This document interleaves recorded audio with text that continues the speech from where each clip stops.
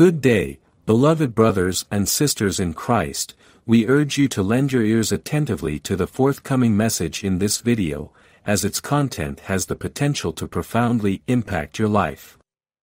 The words spoken by Mirjana and the insights shared by the prophets we reference will undoubtedly leave you in awe. I implore you to watch this video in its entirety, without interruption. Matthew 7 verses 7 to 8 says, Ask, and it will be given to you, seek, and you will find, knock, and the door will be opened to you. For everyone who asks receives, the one who seeks finds, and to the one who knocks, the door will be opened. This Bible verse reminds us to ask, search, and knock because everyone who asks receives, he who seeks finds, and to him who knocks, it will be opened. Let us unite, saying, Thou most holy Virgin who dost evermore stand before the throne of the most holy Trinity and to whom it is granted at all times to pray for us to the most beloved Son, pray for me in all my necessities, help me, combat for me, give thanks for me, and obtain for me pardon of all my sins. Help me especially at my last hour and when I can no longer give any sign of the use of reason. Then do thou encourage me, make the sign of the cross for me, sprinkle me with holy water, and fight for me against the enemy. Make in my name a profession of faith, favor me with a testimony of my salvation, and never let me despair of the mercy of God. Oh, pray for me instantly, earnestly, and admonish my friends to procure for me a speedy enjoyment of the blessed sight of God. Lessen my sufferings, deliver me speedily, and conduct my soul into heaven with thee, that united with all the elect, I may there bless and praise my God and thyself for all eternity. Amen. Dear brothers and sisters, recently we saw that Mirjana and the place Medjugorje are not well, and Our Lady has in mind a new plan for the world.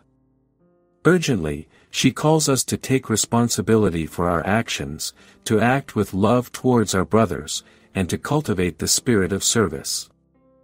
Pray with us for the conversion of the greatest number of souls. The offenses of this generation have caused great sins, taking humanity to the Tower of Babel, a symbol of confusion. Nature is altered by the damage caused by human beings and warns us to prepare for future changes. In the month of May 2024, go to church on Sundays to pray and confess to calm my son's anger. In the last days of this month, prepare the candles in your home, you will need them. There will be a big storm happening in America. Please prepare yourselves, my children. I implore you to return to the arms of Jesus, to seek solace and guidance in his teachings. God's patience is immeasurable, but his justice is unwavering. The consequences of straying from his path are grave. There are signs of unrest, turmoil, and tribulations looming on the horizon if nations and individuals do not return to Jesus and rekindle their faith. Calamities may befall many lands. Pray, children, pray, and prepare yourselves, as the earth will shake, and there will be significant changes. In the dark corners of time, a message resonates from Medjugorje like a sacred whisper that transcends the limits of human understanding, delving into the mysterious realm of the divine where the words spoken by Mirjana and the prophets reveal secrets that defy earthly logic. In the fabric of destiny, the words of the gospel are intertwined with the recent revelations, reminding us that the search, the call, and the supplication are the keys that open the doors of the celestial. Perhaps we are facing a threshold that invites us to reveal the veil that hides the ultimate purpose of our existence. In a sacred corner where faith and the church converge stands Medjugorje, the epicenter of the divine. Subscribe and delve into the enigma that encloses this place where transcendence manifests itself in ways that defy human understanding. Recite the prayer with reverence as it unites with the vast silence of the mystery. Oh my God, you know my poverty and misery. The words resonate like a call to surrender, to the total surrender of our lives to the divine plan. In the hills of Medjugorje, where the winds of change blow strongly, a new plan is revealed. The health of Vicka and Mirjana falters, and in this critical moment, the Virgin Mary brings with her a task for humanity. We are facing an unexpected twist in the tapestry of destiny. The words spoken by the Heavenly Mother become prophetic, calling us to assume responsibility, to weave with love the threads of our actions.